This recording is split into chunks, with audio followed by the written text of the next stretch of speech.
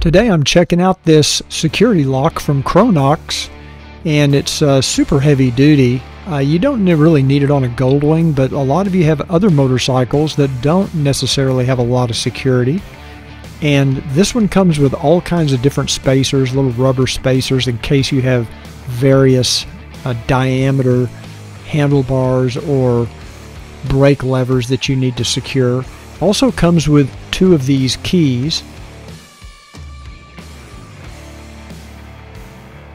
pretty simple to unlock the unit. You just put the key in the back of the lock and twist it and it pops open. I'm going to demonstrate on my Honda Goldwing.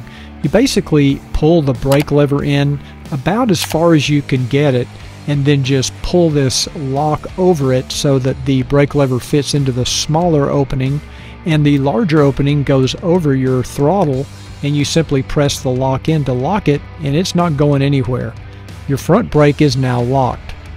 I can't really emphasize enough how heavy this piece of equipment is, this piece of metal. It'd be very difficult to saw off or pry off. It is super, super heavy. And yet it's still small enough you can easily fit it into your trunk or any kind of little travel bag that you have on your motorcycle.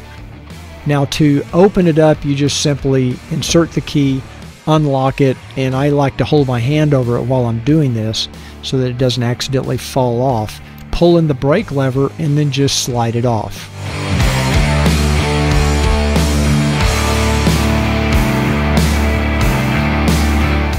So if you're interested in this security lock from Kronox, I'm going to put a link in the description of this video where you can order it from Amazon. Please put your comments down below what you think. I think it's actually a pretty cool little device. Make sure to click that like button if you liked this video.